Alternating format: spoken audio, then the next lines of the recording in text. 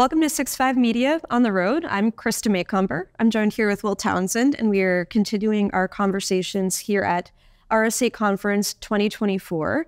We are very excited to be joined here by Herain Oberoi, who is the um, GM for Data and AI Security with Microsoft. Um, Herain, thank you so much for joining us.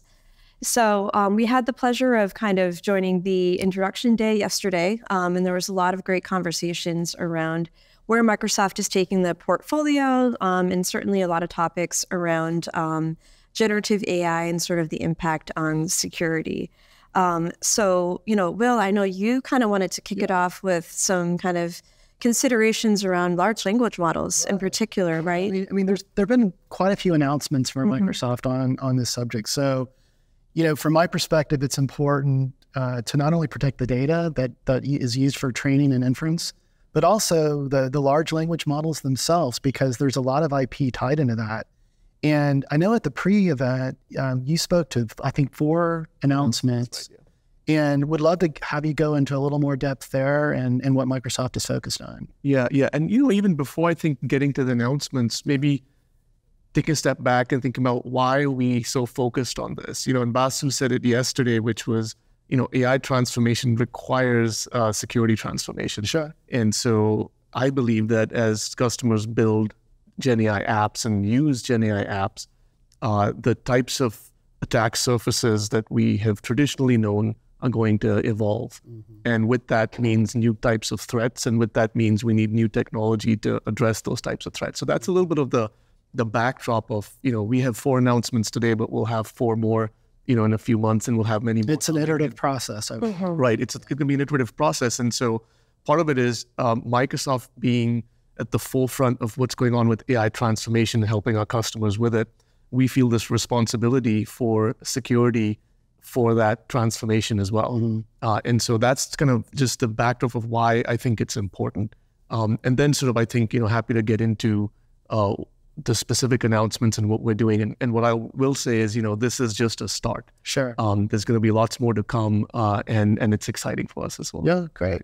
Uh, is there any any one of the announcements in particular that you find you know very compelling or, or most compelling? Yeah, the, the way I mean I find all of them compelling. Yeah. Um, the, the way I like to think about this um, is how we spoke to it yesterday as well is you're either using generative AI, so you're using Gen, Gen AI that someone else built, like a Chat GPT or a Copilot, mm-hmm. um, or you're building your own custom generative AI. Mm-hmm. And uh, when you're building your own custom generative AI, um, what many people don't realize is it's not that an organization is going to build one or two apps around it. We think they're going to build hundreds of mm-hmm. task-specific Gen AIs around these things, and so you're going to have all these custom-built Gen AI apps, and those have their own uh, security and governance requirements as yeah. well. Yeah. So, so when we think about using generative AI, uh, there's sort of three areas where customers have uh, talked to us about needs and, and concerns. You know, the first one is just visibility.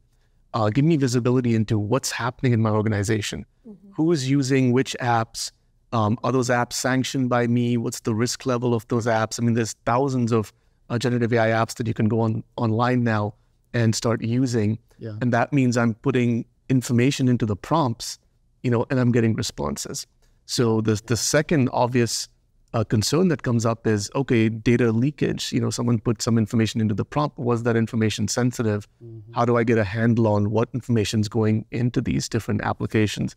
Uh, and then the third um, sort of concern that that comes up repeatedly is what's going on with AI regulations. Right. These regulations are rapidly evolving, and there's like a new kind of group or meeting that that sprouts up it seems like weekly now right? Like in mm-hmm. europe and other parts of the world. Right yeah i mean uh, every country is grappling with this. We're sort of grappling it at a global scale. How do we collaborate as countries around ai regulation? But then yeah. each individual country has to also implement its regulations and legislations and all of that. Sure. And so different countries are in, in different stages of maturity.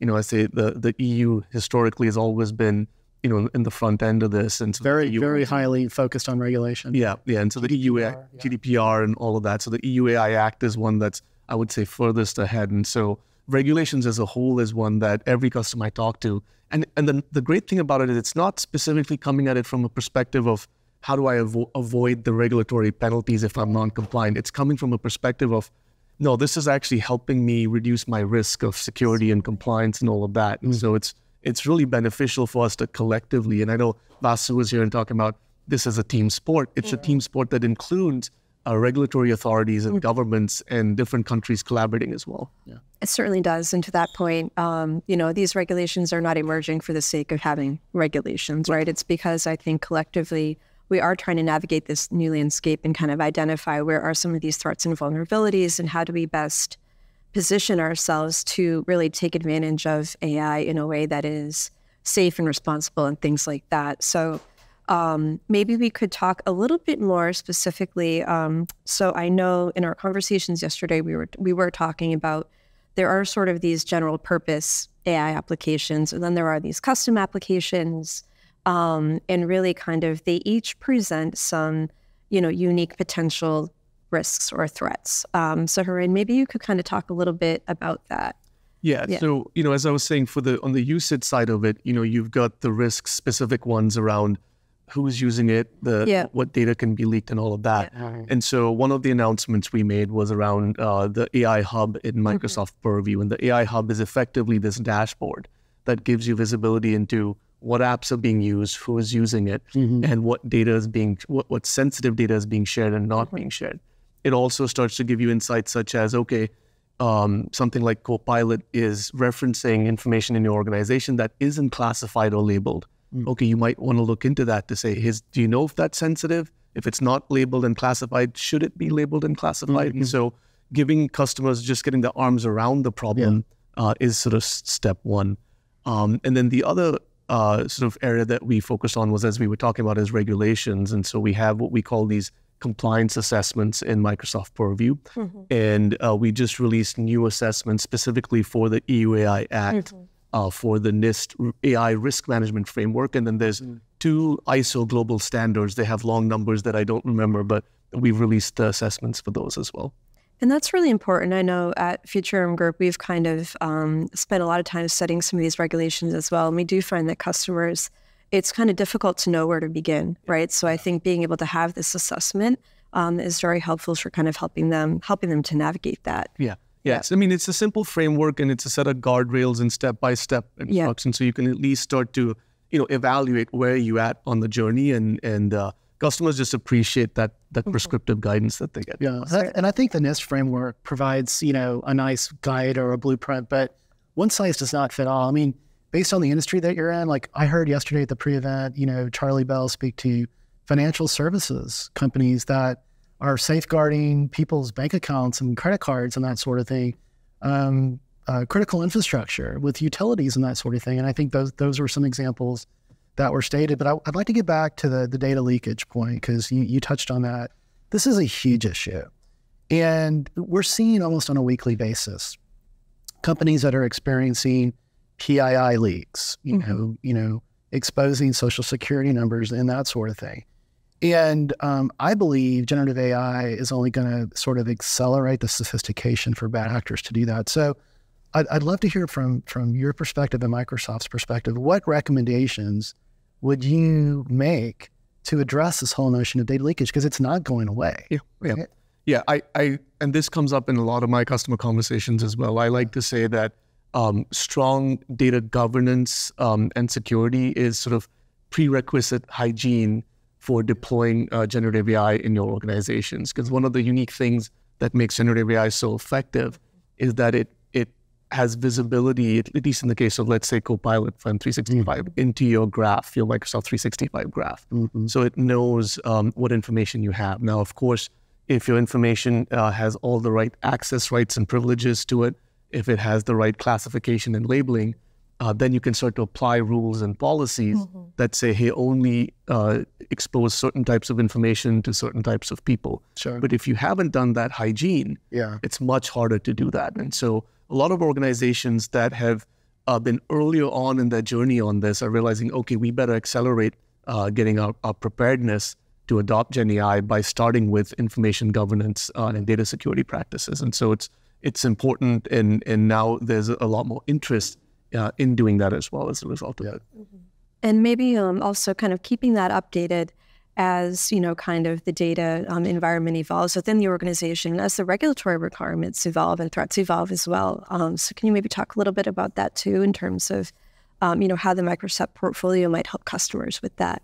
Sure. Yeah. So historically, you know, and, and the, the good thing is we've sort of had a head start in this problem because historically we've used Microsoft Purview mm-hmm. to, uh, you know, protect and govern data that's in uh, Microsoft 365, and mm-hmm. so that's everything in you know SharePoint. That was before the whole Gen, AI, Gen was, AI wave, right? Exactly, right, and include and including you know other chat interfaces like Teams. Mm-hmm. So today, for example, if you're in Teams, you know we can actually detect um, a policy violation. You know, if there's mm-hmm. there's harassment or collusion or something like that happening, we can. This has got nothing to do with Gen AI. We just do that in Teams today, and organizations use this. Mm-hmm. Well, it turns out that the Gen AI uh, interface is very similar to a chat interface. Sure. And so if I'm now asking, uh, you know, a Copilot or some other Gen AI app uh, questions that might indicate that I might be violating certain policies, well, that same technology that we've used can be quickly applied to this. And so we were able to take a lot of the IP we had in, in Purview and pivot that very quickly towards uh, Gen AI apps as well. Yeah. Solid foundation. it, sure. it really is. And we were able to see the technology in some of the demos, and it's very, it's pretty slick. Yeah. Um, so I think maybe kind of one final question to kind of round things up. So I know, Herain, you referenced um, Copilot for um, security for Microsoft 365. And, um, you know, there's obviously so much that goes into play here when we talk about, you know, security in governments, especially for, you know, AI. So can you maybe talk a little bit about what are some best practices for customers that are looking to, um, you know, adopt Copilot? Yeah, I, and so I think similar to um, the broader use case of adopting Gen AI, yeah. you know, Copilot for M365 is is a very particular and we think very broad use case for it. Yeah. And so, uh, like I said before, you know, having strong information governance and data security hygiene, you know, is an important part of preparedness for it. Mm-hmm. Um, as part of that, you know, we've uh, uh, built out um, a practice, what we call fast track a preparedness for Copilot for 365 specifically to help customers start with assessing their environments, mm-hmm. understanding where their data lives, how much of it's classified, not classified, and then quickly get going in their Copilot deployments mm-hmm. with the right hygiene in place. And so that's a program that we've been rolling out. Uh, and many customers that have been adopting Copilot from Microsoft 360. Is that a self-service tool that you go online, or do you engage with a Microsoft uh, partner yeah. to do that assessment? It's it's a couple of things. We have a, a, team within Microsoft that's the fast track team, and that's sort of the white glove service. Okay. We're doing a ton of work to enable our partners to deliver preparedness programs, and many of them are starting uh, doing that already. And that adds to their value add with uh, absolutely with what they're doing with Microsoft. Yeah, in fact, uh, I was in Australia a couple of months ago and met with a number of partners over there, and that this was still you know early before we had um, uh, fully GA'd Copilot for 365, and you know it was a big topic of conversation, which is them building a preparedness practice for the adoption of Copilot M365 is a huge opportunity for them and um, sure. um, and for customers to get value from it. Yeah. So thank you, Herain. That makes a lot of sense. And why don't we maybe shift gears for a moment and talk about the custom um, AI applications that customers are creating and using? Because I know that Microsoft had a couple announcements around that this week as well. Yeah, absolutely. And, and I, I love this topic because I really think what's happening around application development is is really exciting. Um, having gone through the wave of moving from on-premise to the cloud, we saw this shift in how applications were developed. You know, we went from what was this historic three-tier architectures to these microservice-based architectures, and, and what that did was it caused this complete um, reinvention of different aspects of application development, in, in, including um, you know DevOps and, and all of it. Mm-hmm.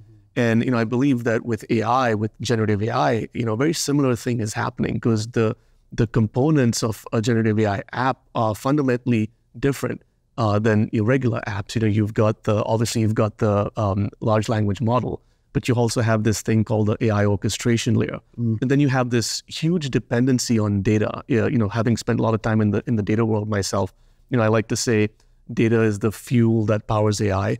And so you've got training data to train the model. Mm-hmm. You've got fine tuning data to actually um, customize your application itself. Uh, and then you have what you call grounding data or web data to use in, in these uh, RAG processes to sort of minimize hallucinations or provide more, more accurate responses. So all of that data needs to be secured and all of that data, you know, needs to be protected against um, attacks such as poisoning and things like that. And so uh, just having a inventory and a view of all your different AI assets, you know, is is a great starting point. And so to address that that specific issue, you know, we announced um, uh, posture management for AI assets in Microsoft Defender for Cloud. And so with that, you can now uh, both discover and inventory um, all your AI assets in your yeah. organization. Mm. And that's so important when we look across the security landscape. This concept of posture management is has become a growing trend, and it makes a lot of sense because we do have to do everything we can to try to at least keep up with the attackers, if not hopefully be a step ahead of them. And I think that posture management, really understanding where your vulnerabilities are, especially as these new AI applications are being custom built, um, you know, I imagine is going to be resonating quite a bit with customers. yeah, yeah, absolutely. And and you know, and that's that's the first piece of it right? And then the second piece of it is not just what you do, um, you know, sort of to to protect your assets, mm-hmm. but the second piece is in runtime. You know, how do you protect against these new types of threats? Mm-hmm. And, right. and you know, yeah. example one of them we spoke about yesterday was uh, prompt injection attacks. Mm-hmm. Yeah, you know, this idea that someone can use uh, um, English language and manipulate your model to do things it wasn't intended to do. Your demo was really effective in driving that home, right? right. And how it like shut shut it down and then reported it and and you know the benefit of what you're doing from a, a, complete Microsoft stack and being able to flow all of that information through a single pane of glass.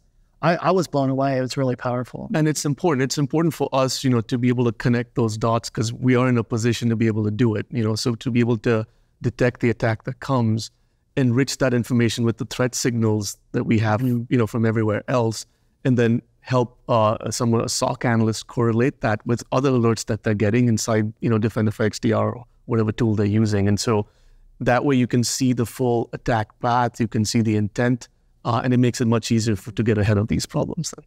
Well, Herain, we wanted to thank you so much again for sitting down with Six Five Media on the road. Um, I'm sure we could talk for, you know, many hours on all these topics, and um, we, we certainly wish you a great week here at RSA Conference 2024. And um, we want to thank everyone for watching and look forward to seeing you on our next video.